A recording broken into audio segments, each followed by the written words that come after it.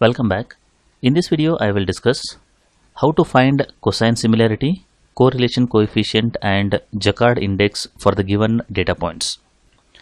In this example we have been given uh, two data points that is A and B. With given this particular data point uh, we need to find these particular three measures. First we will try to discuss uh, how to find the cosine similarity.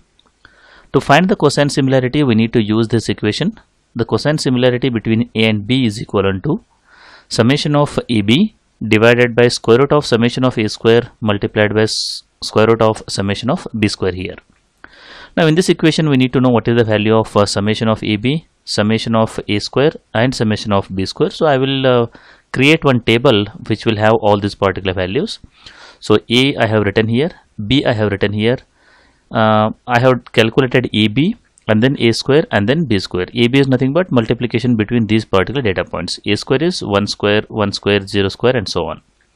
Now once this particular calculation is done i have calculated the summation term here. That is summation of a here summation of b summation of ab and so on. Now i'll try to put all these particular values in this equation. That is summation of ab is equivalent to how much?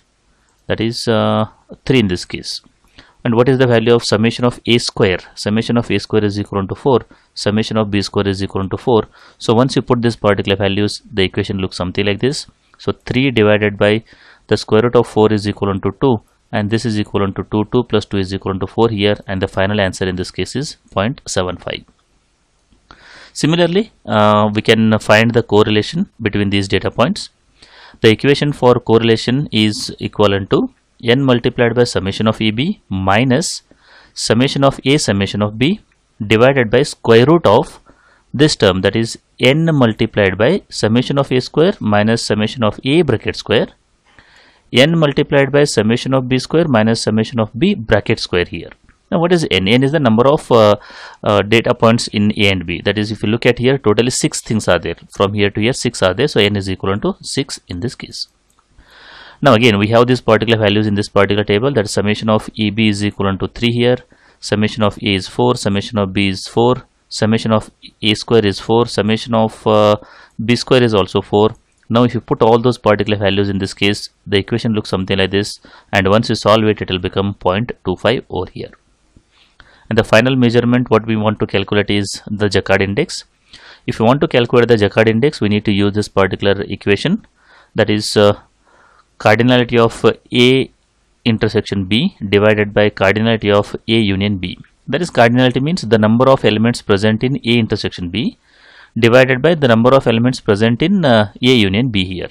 So what is A intersection B is the elements which are present in both the data points that is you can see here this is present in both the cases.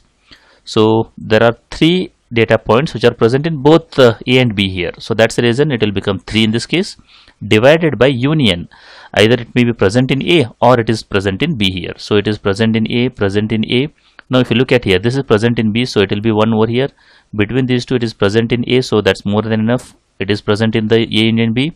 These two data points, so this thing 0 is present in both the cases, the meaning is it is not available and finally it is available in the union here. Now it will be 5 here. So that is uh, 3 divided by 5 we need to calculate that will become 0.6 over here. This is a simple process you can follow to find the cosine similarity, correlation coefficient as well as the Jaccard index. I hope the concept is clear. If you like the video, do like and share with your friends.